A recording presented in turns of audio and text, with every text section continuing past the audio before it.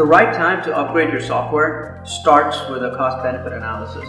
Does the monthly cost of maintaining an outdated system and lost productivity exceed the cost of building a new one? The problem is most managers never sit down to quantify the cost of maintenance, productivity, adding features, especially for a program uh, platform that will eventually be thrown away. In these cases, sticking with the status quo is usually the wrong thing to do. My advice for managers is to think like entrepreneurs and look at the opportunity cost of not making a change.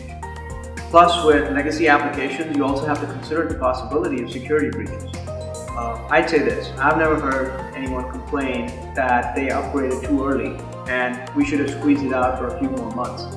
While I've not heard that, I have heard managers wishing they had upgraded earlier so they could have actually saved a few months of maintenance cost and not put more good money up behind bad and reap the benefits of the improved productivity that they got. If you're happy with your application and it's meeting your needs, great, don't change it.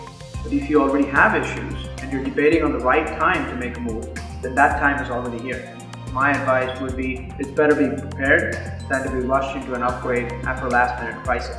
So always be ready to make the right move for your business at the right time.